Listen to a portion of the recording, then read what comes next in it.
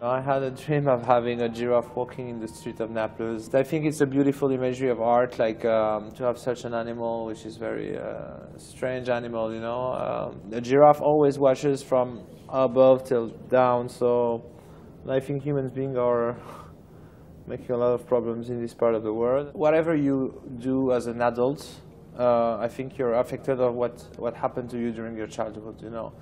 And, uh, people talk about peace, people talk about a lot of stuff when we're talking about Palestine or Israel. And, um, and I'm asking myself, I mean, how peace is possible if uh, from childhood you don't have any more dreams, you don't have any more hope.